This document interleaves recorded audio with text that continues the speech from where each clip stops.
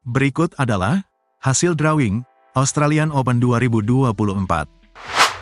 Turnamen dengan level Super 500 ini akan berlangsung mulai tanggal 11 sampai 16 Juni di QE Centre, Sydney Olympic Park.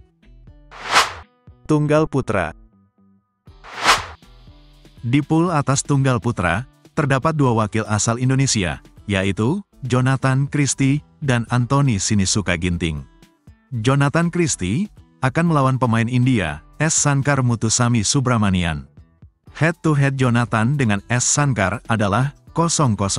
Sementara itu, Anthony Sinisuka Ginting akan melawan pemain India, Ragnu Mariswamy. Head-to-head Ginting dengan Ragnu adalah 0-0.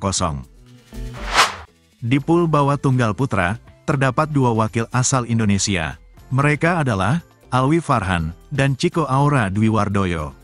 Alwi Farhan akan melawan pemain India, Mitun Manjunat. Head-to-head kedua pemain adalah 0-0.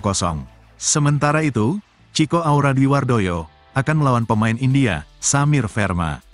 Head-to-head kedua pemain adalah 1-1. Berikut adalah draw babak kualifikasi Tunggal Putra. Tunggal Putri Di pool atas tunggal putri, terdapat satu wakil asal Indonesia, yaitu Esther Nurumi Triwardoyo, yang akan melawan pemenang babak kualifikasi, Q3. Di pool bawah tunggal putri, terdapat dua wakil asal Indonesia. Mereka adalah Komang Ayu Cahyadewi dan Putri Kusuma Wardani.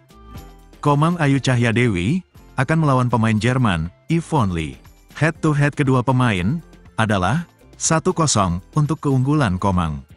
Dan Putri Kusuma Wardani akan melawan pemain Vietnam, Phuti Antu. Head-to-head kedua pemain adalah 0-0. Berikut adalah draw babak kualifikasi Tunggal Putri. Ganda Putra Di pool atas ganda putra, tak ada satupun wakil asal Indonesia. Beberapa pasangan unggulan yang masuk pool atas, antara lain, He Jiting, Ren Xiangyu, Kang Hai Sing, Aaron Tai, Chong Hon Jian, Muhammad Haikal, dan Nur Mo Azrin Ayub Azrin, Tan Wee Kiong. Di pool bawah ganda putra, terdapat satu wakil asal Indonesia, yaitu Muhammad Ahsan, Hendra Setiawan, yang akan melawan wakil tuan rumah, Lukas Devolki, Ricky Tang. Head-to-head kedua ganda putra adalah 0-0. Berikut adalah draw babak kualifikasi Ganda Putra. Ganda Putri Di pool atas ganda putri, tak ada satupun wakil Indonesia. Beberapa pasangan unggulan yang masuk pool atas, antara lain, Nami Matsuyama, Chiharu Shida, Julie Vine Ibsen, Maisuro, Yang Ngating, Yang Puilam, dan Ruta Parna Panda, Sweta Parna Panda. Di pool bawah ganda putri, terdapat satu wakil asal Indonesia. Mereka adalah Febriana Dwi Puji Kusuma, Amalia Cahaya Pratiwi, yang berhasil mendapatkan bye di babak pertama.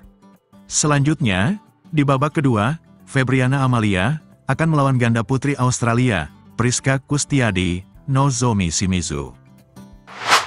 Ganda Campuran Di pool atas ganda campuran, terdapat satu wakil asal Indonesia, yaitu Rehan Naufal Kusaryanto, Lisa Ayu Kusumawati, yang akan melawan ganda campuran Malaysia, Chong Hon Jian, Go Pei Ki. Head-to-head kedua ganda campuran adalah 1-0 untuk keunggulan Rehan Lisa.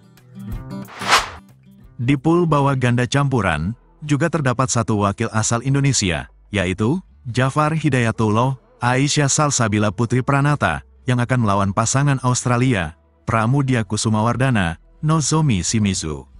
Head-to-head kedua ganda campuran adalah 0-0. Berikut adalah draw babak kualifikasi Ganda Campuran.